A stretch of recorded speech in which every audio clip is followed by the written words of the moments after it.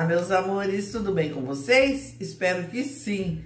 Sejam bem-vindos ao canal Sabores da Vó Rose. A receita de hoje é uma maravilhosa bolachas de melado. Aquelas bolachas feitas com rapadura, gente, com sabor incrível, uma delícia.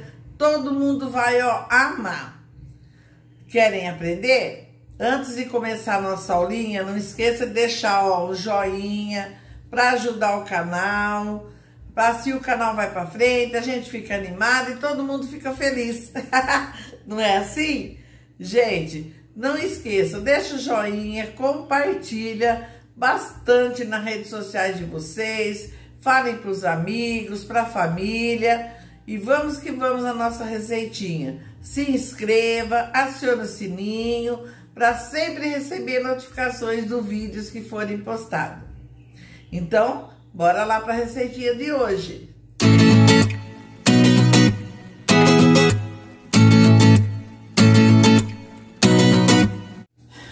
Meus amores, para nossa receitinha de hoje, primeiramente vamos precisar de uma panela com 250 ml de água, tá? Eu tô fazendo meia receita. Se quiserem fazer bastante bolacha, gente, é só dobrar a quantidade que eu estou passando.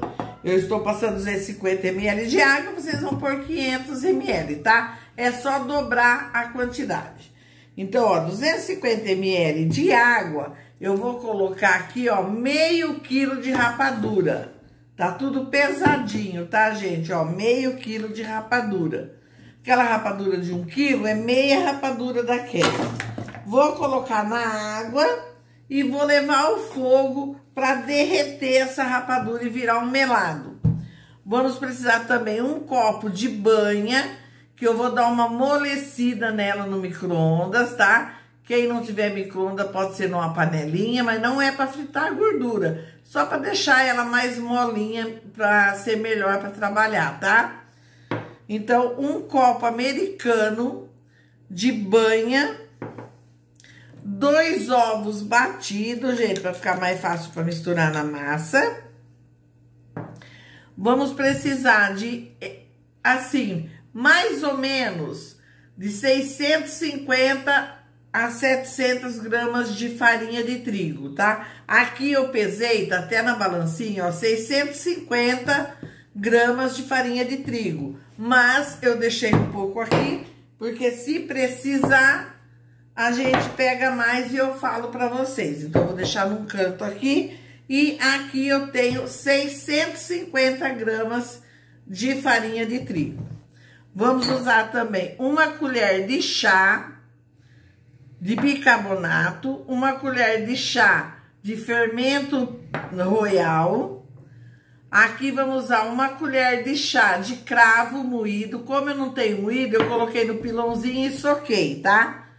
Então, cravo socadinho, ó, uma colher de chá. E uma colher de chá também de canela em pó, tá?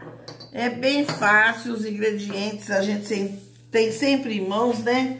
Que são coisas fáceis de achar e não são coisas caras.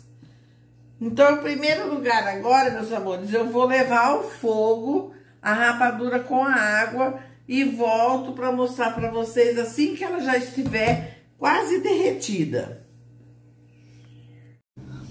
Ó, meus amores, já derreteu toda a nossa rapadura aqui, olha, tá vendo? Agora vamos esperar esfriar. Vou desligar o fogo aqui e a gente vai esperar esfriar para dar continuidade no vídeo. Então, pessoal, olha, derreti já, né? E deixei esfriar a nossa rapadura. Olha que bonita que ficou. Ó, ficou uns pedacinhos aqui sem derreter, ó. Mas eu vou pôr esse belisquinho aqui mesmo, não tem importância. Tá, olha. Então, derreteu aqui a nossa... Olha que bonita que fica a calda, gente. Tá? Um cheiro maravilhoso de rapadura. Ó, já está derretida. Vou acrescentar aqui a banha, que eu já dei também uma amolecidinha nela no micro-ondas. Ó, ela ficou parecendo uma pomadinha, tá, gente? Olha. Fica mais fácil para trabalhar. Tá?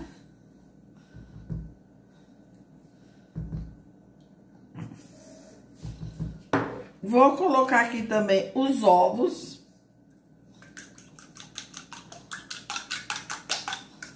A receita inteira é quatro ovos, coloquei dois porque eu tô fazendo meia receita.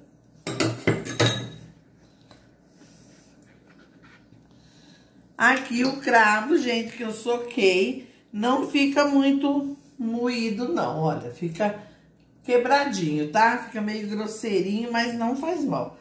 Quem achar em pó, pode ser. Aqui, a, uma colher de chá de bicarbonato, uma colher de chá de pó royal, teria que ser uma colher de sopa. Como eu tô fazendo meia receita, tô colocando de chá. E uma colher de chá de canela. Olha que delícia. Agora, vamos colocar a farinha, gente. Como eu disse, eu pesei aqui 650 gramas. Se não der, eu coloco mais e falo pra vocês, tá? Porque a farinha nunca a gente tem a quantidade certa, depende da marca, do tamanho dos ovos. Tudo isso dá interferência na quantidade de farinha. Tá? Os ovos podem ser maior ou pode ser menor do que vocês estiverem usando. E tem uma farinha que depende da marca, é mais seca, outras são mais úmida. Tá bom? Olha. Foi tudo, 650 gramas de farinha.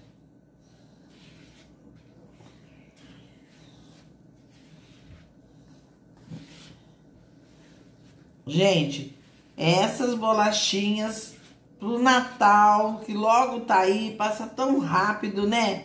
Pôr numa lata festeira, assim, uma lata bem bonita. Olha, pessoal, vou colocar mais uma xícara. Essa xícara é de 240, tá? 240 ml. Depois eu peso para vocês uma xícara e coloco na descrição do vídeo a quantidade certinha que usou de farinha.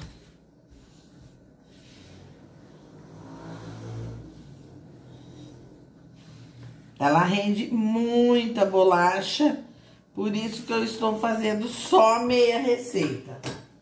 Vocês viram tanto que foi, ó, duas, mais duas xícaras, né?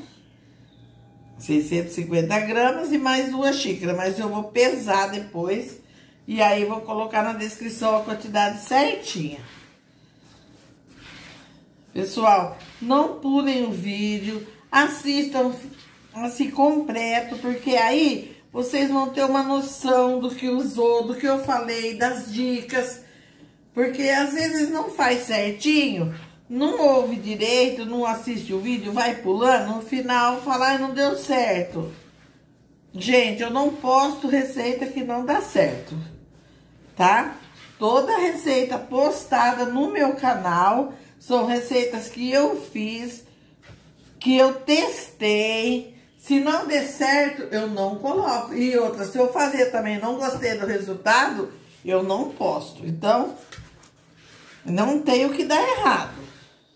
Tem que assistir certinho, fazer certinho pra dar certo, né? Olha aí. Uma massa muito bonita. Olha, eu vou lavar minha mão, ó, não tá grudando mais. Olha minha mão seca. Essa vai grudar porque tá, ó, tá suja, né? De farinha. Não tá grudando mais. Olha aqui. Vou lavar minha mão e volto.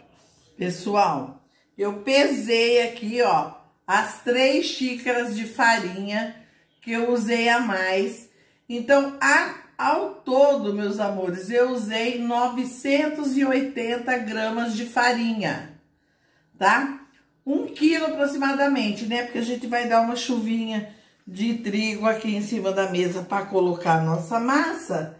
Então, na verdade, a gente usou aqui 980 gramas de farinha de trigo, tá?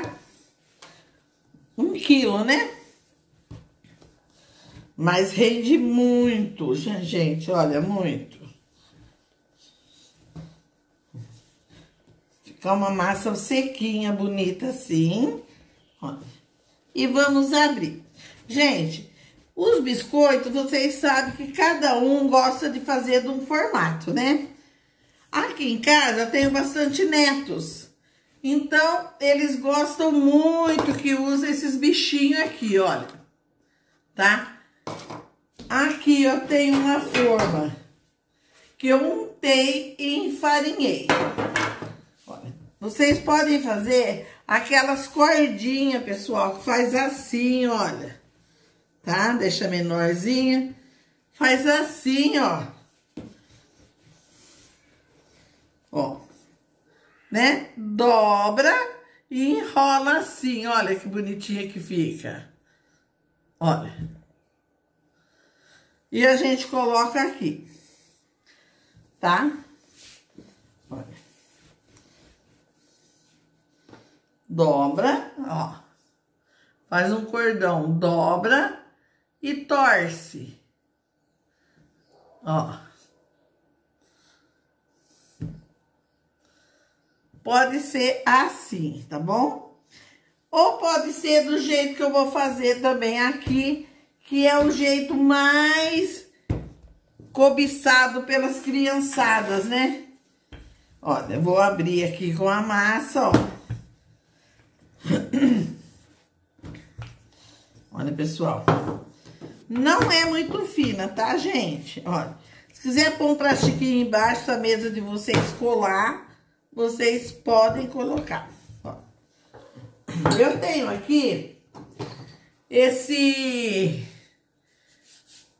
rolo, que é assim, ó, a gente passa, ele marca desenho, ó, fica umas florzinhas, né? E aí eu vou cortar aqui com os bichinhos, porque eles gostam. Olha, aqui tem borboleta. Tá vendo, olha. Vou mostrar pra vocês. Tem peixinho, olha.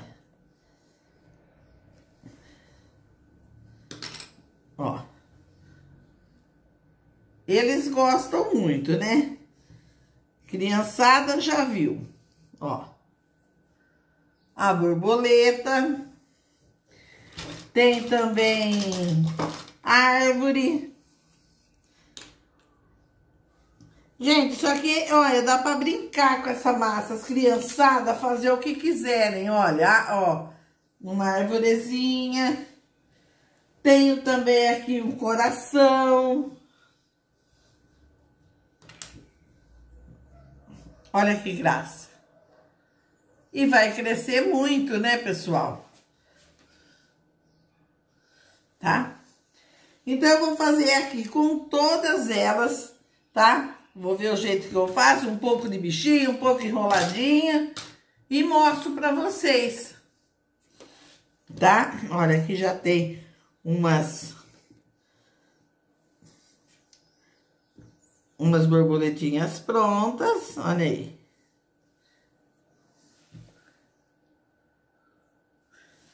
Mas se quiserem fazer do jeito que eu falei, fiquem à vontade, tá? Ó, vai fazer assim. Ó. Dobra.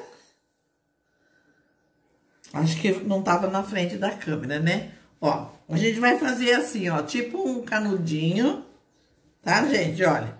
Aí a gente dobra e torce uma pra lá e uma pra cá. Pronto. Olha aí. Tá vendo? E vamos colocando aqui. Eu vou fazer aqui com todas as minhas massas e volto para mostrar para vocês o tanto que renderam. Ó, pessoal, já fiz, ó, as bolachinhas Fiz essas de bichinho, né? Aquelas forminhas de bichinho para as criançadas. Fiz essas assim, gente, ó. Cada um pode fazer o jeito que gostar. e essas eu fiz em bolachinhas redondas. O meu forno já tá bem quente, deixei 10 minutos ligado e agora vou colocar a bolachinha, tá? Assim que eu tirar as primeiras formas, eu já mostro. Ó, pessoal, já tá saindo a primeira fornada. Olha que lindas que estão, olha. Estão bem assadinhas, olha isso. Mais moreninha embaixo e mais clarinha em cima. Pessoal, deixa eu falar pra vocês. Se vocês tirarem, não deixa secar desse jeito, porque senão elas vão ficar seca. Tem que forrar um, um, um pote assim com um pano. Aí a gente vai tirando daqui, colocando em cima do pano, todas elas, olha, não gruda. Por isso que é interessante a gente untar e polvilhar a forma, ó, tá bem quente ainda. A gente tira, coloca num pote e não tampa com a tampa, não. A gente vai cobrir com um pano. Sempre fazendo isso, pessoal. Tira da forma quente, tá? Olha, tá bem quente ainda. Acabei de tirar, né? A outra também que tá lá já tá boa. Olha, vou tirar tudo aqui. Só pra mostrar pra vocês. Olha. Ela rende bastante, pessoal. Tô fazendo aqui meia receita, como eu disse pra vocês. Renderam bastante. Vou botar pra cá e eu vou buscar outra lá. Olha, pessoal. Tá num pano. O que, que a gente vai fazer agora aqui? Pegar outro pano de prato limpinho e vamos tampar assim, ó. Pra ela ir esfriando enquanto assa as outras, tá? Vou assar todas elas aqui e volto com vocês. Pessoal, depois delas assadinhas, se vocês quiserem derreter um pouquinho de chocolate para fazer uns risquinhos assim, ó, que as crianças gostam, né? Olha. E deixar secar, ó, vai ficar muito bonitinhas, olha. Tá? Mas isso é opcional, tá? Só que eu que quis fazer assim deixar secar, ó. Não precisa fazer em todas, tá? Se quiserem fazer em todas, também faça. Se não quiser fazer em nenhuma, fiquem à vontade. Olha isso. Vou esperar secar enquanto as outras assam, tá? Não vou fazer isso em todas, eu só tô fazendo algumas para vocês verem que também tem essa opção. Vou esperar a outras assar para me mostrar para você. Pessoal, essas aqui assaram em 15 minutos, tá? Já tava bem quente o forno. Rendeu bastante, ainda tem duas formas lá, tá? Assando. Depois eu vou colocar aqui e mostrar para vocês. Pessoal, olha que delícia, rendeu bastante. Olha isso, olha. Se forem mais grossinhas, vão ficar mais macias. E se quiserem mais sequinhas, é só fazer mais fininhas. Olha, pessoal, tá macia por fora. Olha isso. Olha que delícia. Derrete na boca. Olha isso. Que delícia. E também tem a opção de servir assim, com um chazinho e com elas passadas chocolates em cima. Olha, que delícia para servir num chá da tarde ou para visita. Muitos gostosos, saborosos e muito fácil de fazer. Pessoal, se vocês gostaram da receitinha de hoje, deixa o joinha, compartilha, acione o sininho para sempre receber notificações dos vídeos que forem postados. E compartilha bastante, pessoal, para esse vídeo ir para bem longe, todo mundo fazer, todo mundo gostar e é maravilhoso. Fiquem com Deus e até o próximo vídeo. Beijos!